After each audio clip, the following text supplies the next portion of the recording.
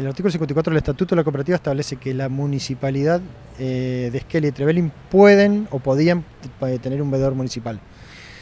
En esto a hacernos cargo de la cooperativa, que es la empresa más grande que tenemos y en la cual todos los vecinos que tengamos medidor de luz somos socios. Nosotros establecimos por ordenanza, que sí fue un proyecto mío y de Valeria Sandra en ese momento, que era concejal, eh, establecimos y propusimos que ese vedor no sea, eh, que ese, ese vedor eh, no es que cambiamos el podrá, que como dice el Estatuto de la Cooperativa, le, le decíamos si le ordenábamos al intendente que el vedor es obligatorio.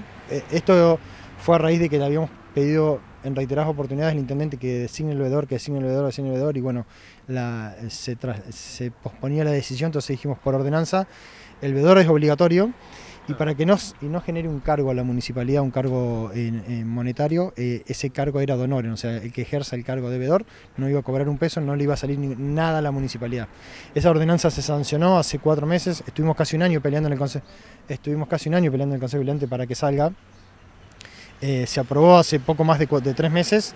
eh, con esos parámetros, que ahora la municipalidad de Esquel tiene que tener un veedor obligatorio y, que no tiene que cobrar nada, que puede ser el propio intendente, un funcionario o un vecino común que diga yo quiero ser veedor. Luciano y Paolo dice que es de hecho, pero no de derecho, no fue nombrado oficialmente. No, eso hace falta una resolución y hace falta que el veedor,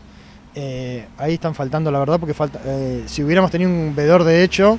tendría que haber asistido a la a la elección que se hizo el sábado tendría que haber verificado. Dice que eso es un movimiento interno, que no le corresponde. No, pero bueno, el veedor, el veedor tiene que verificar eso. En realidad se tiene que sentar en, en el Consejo de Administración y tiene voz, pero no tiene voto y de hecho si fuera de hecho tendría que estar asistiendo a la, a reunión del Consejo Directivo de la Cooperativa que no lo están haciendo, con lo cual están faltando la verdad y además el, Intendente está incurriendo en, un incumplimiento de los deberes de funcionario público porque la ordenanza le obliga a que designe un vedor y no lo ha hecho. ¿no? Nosotros le presentamos eh, justamente el día de la sesión pasada, el día viernes, le presentamos una nota diciéndole que, y creo que a raíz de esto él ha dicho ahora que, tiene que, que, va a nombrar el vedor o que Luciano de hecho, Luciano Di Paolo está de hecho. Nosotros le presentamos una nota que no ha tenido, no ha tomado trascendencia pública, pero que que decía expresamente que, cumpla la ordenanza y que dé cumplimiento al, número de ordenanza que no lo recuerdo en este momento y que designe el, veedor municipal. Creo que, es una facultad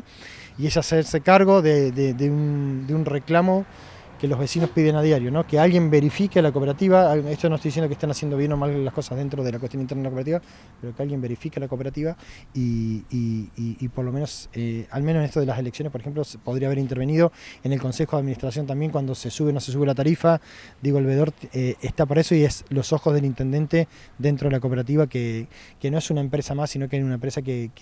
nos vincula a todos los esquelenses, porque cualquier esquelense que tenga el, el medidor de luz a su nombre es socio de la cooperativa, ¿no?